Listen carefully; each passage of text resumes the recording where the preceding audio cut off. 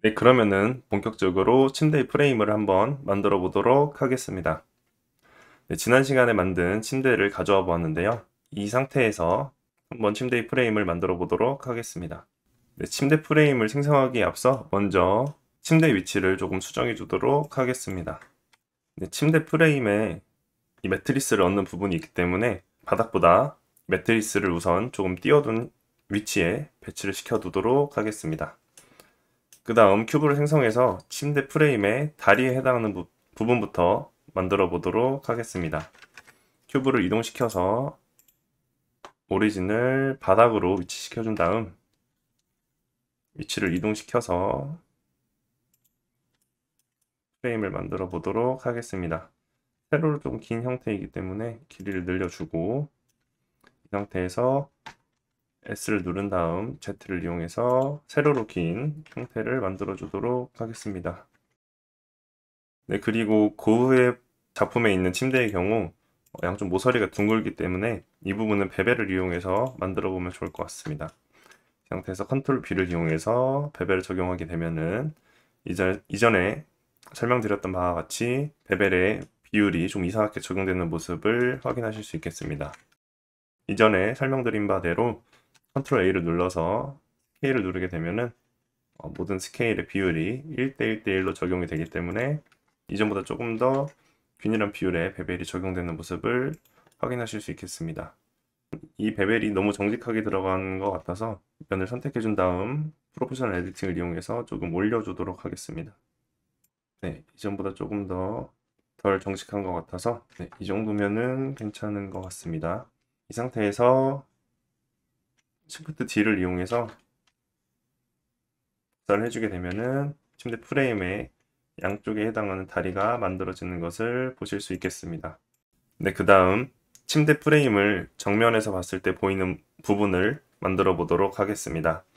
네, 이번에도 큐브를 이용해서 네, 큐브를 먼저 생성해 준 다음 오리진을 옮겨주도록 하고 SZ를 이용해서 먼저 높이, 높이 먼저 조절해 주도록 하겠습니다. 다음 사이즈를 조절해 주고 이동시킨 다음 네, 하단부에 해당하는 부분을 먼저 만들어 보았습니다. 네, 그 다음 저는 이 cube를 그대로 복사를 해서 위로 올려준 다음 프레임을 한번 만들어 보도록 하겠습니다. 어, 지금 침대가 조금 방해가 될 수 있을 것 같아서 침대를 모아둔 컬렉션을 꺼서 우선 침대를 숨겨보도록 하겠습니다. 이 상단부에 있는 cube를 선택한 다음 탭키를 눌러서 edit 모드로 들어간 다음 control R을 이용해서 여러 개의 면으로 나눠주도록 하겠습니다. 한 대략 29개 정도로 나눴는데요. 29개로 나눠서 진행을 해보도록 하겠습니다. 이 상태에서 Alt Z를 눌러서 엑스레이 모드로 들어간 다음 vertex를 선택한 다음에 proportional edit 모드를 켜고 G를 누르고 Z를 눌러서 이동해 주게 되면은 고의 침대와 유사한 형태의 프레임을 만들어 볼 수 있겠습니다. 엑스레이 모드를 끄면 곡선 형태의 프레임이 만들어진 것을 보실 수 있겠는데요. 어, 이번에는 이 곡선 형태를 가지고 이 나머지 부분을 한번 채워보는 연습을 해보도록 하겠습니다.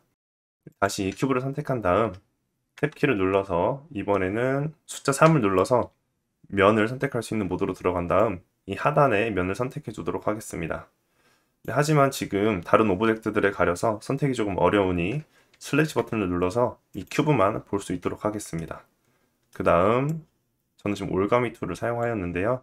이런 식으로 하단만 선택을 해주도록 하겠습니다. 이 상태에서 Shift D를 누르게 되면은 이 하단의 면만 복제가 된 것을 보실 수 있겠습니다.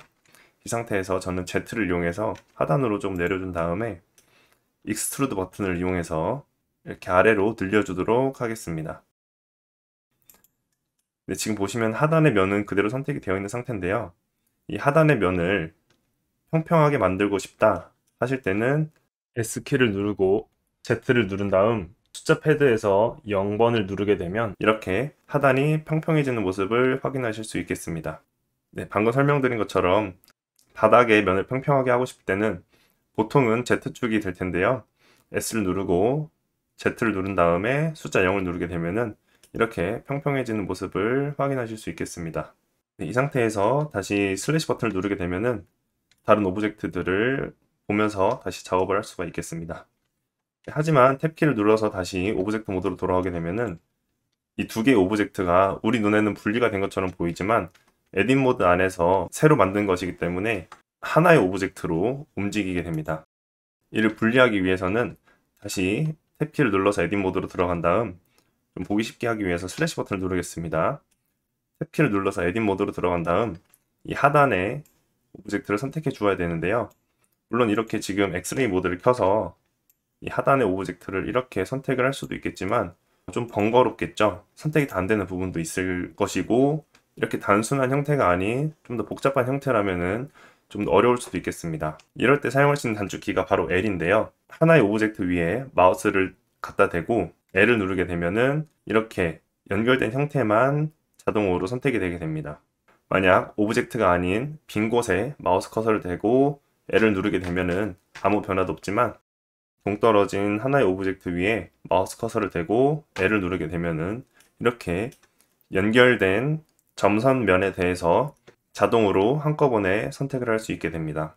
이 상태에서 분리를 하실 때는 마우스 우클릭을 누른 후 separate selection을 누르셔도 되지만 단축키 P를 누르게 되면은 이렇게 separate 창이 바로 나오게 됩니다. 이 상태에서 selection을 누르게 되면은 이렇게 큐브가 두 개로 분할이 된 것을 확인하실 수 있겠습니다. 이 상태에서 다시 슬래시 버튼을 눌러, 눌러 서 돌아오게 되면은 이렇게 이 object를 개별적으로 수정하실 수 있게 됩니다. 네, 그럼 저는 이 부분은 좀 더 얇게 만들어 보고 키를 눌러서 위로 이동을 시켜준 다음 탭 키를 눌러서 edit 모드로 들어간 다음에 엑스레이 모드로 들어간 다음 바닥에 해당하는 부분만 조금 내려두도록 하겠습니다. 다시 Alt Z를 눌러서 엑스레이 모드를 끄게 되면은 저희가 고의 방에서 볼 수 있는 그 침대 프레임의 정면 부분에 해당하는 부분을 만들어 볼 수 있게 되었습니다. 지금 이 프레임이 조금 두꺼운 것 같아서 S를 눌러서 바닥까지 선택을 해준 다음에 S를 눌러서 조금 더 줄여주도록 하겠습니다. 네, 이 정도로 고의 침대 프레임의 정면부에 해당하는 부분을 만들어 보았고요. 그러면 다시 침대를 켜서 마무리를 해주도록 하겠습니다. 네, 침대 프레임의 바닥에 해당하는 부분을 만들어 볼 텐데요. 이전에 사용했던 큐브를 복사해서 Y를 이동해서 이동시켜 준 다음에 사이즈를 늘려주도록 하겠습니다. 그 다음 조금 두께감을 접을 텐데요. S를 눌러서 Z를 누른 다음에 Z를 눌러서 두께감을 좀 잡아보도록 하겠습니다. 그 다음 바닥에 해당하는 부분을 복사시켜서 침대의 머리 부분에 둬 보도록 할 텐데요. 그 전에 복사를 하게 되면은 object 수가 늘어나서 좀 헷갈릴 수 있으니 먼저 네이밍을 해줘서 정리를 먼저 해보도록 하겠습니다. 네이밍은 편하게 각자 편하게 이름을 해주시면 됩니다. 헷갈리지 않게 본인이 편하신 대로 네이밍을 해주시면 될 것 같습니다. 저는 이 부분을 프런트로 이름을 지어서 프런트와 백으로 구분을 해보도록 하겠습니다.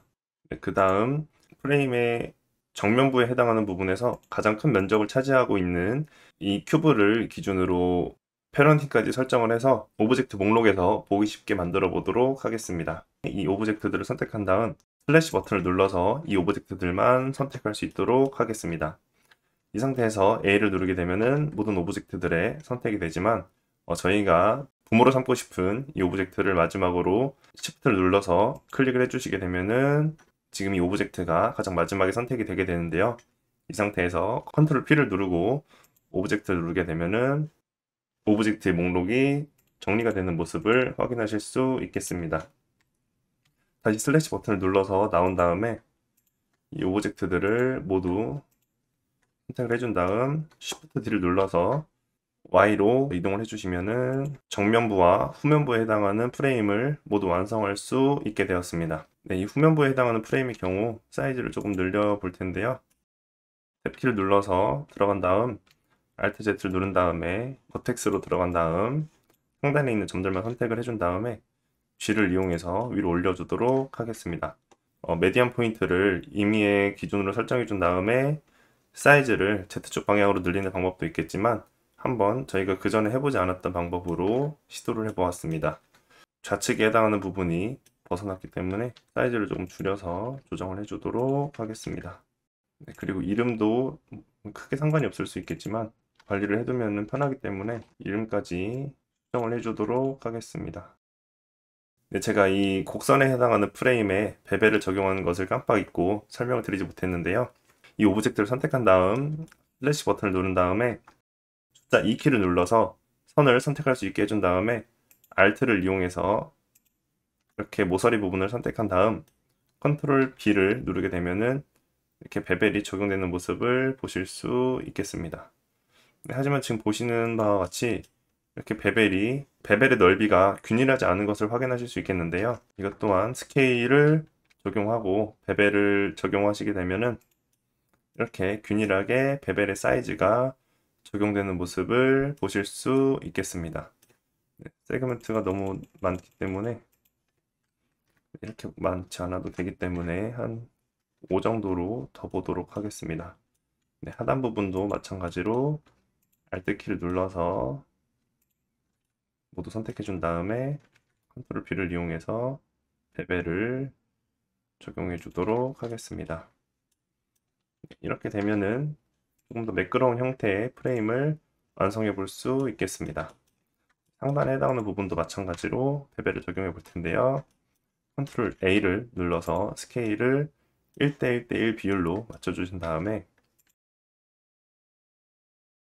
bevel을 적용하고자 하는 모서리를 모두 선택해 주신 다음 컨트롤 B를 누르게 되면은 bevel이 적용되는 모습을 확인하실 수 있겠습니다. 네, 그리고 하단 부분이 조금 가로로도 벗어났었네요. 네, 프레임 하단 부분도 조절을 해주도록 하겠습니다. 네, 이상으로 베벨 기능과 다른 부가적인 기능들을 활용해서 침대 프레임을 완성해 보았는데요. 저는 이 침대 프레임의 이 윗부분에만 베벨 기능을 적용해 보았지만 어, 원하시는 모서리의 베벨 기능을 추가적으로 적용해 보셔서 원하는 형태의 침대 모델링을 완성해 보셨으면 좋겠습니다. 네, 그럼 다음 강의에서 뵙도록 하겠습니다. 감사합니다.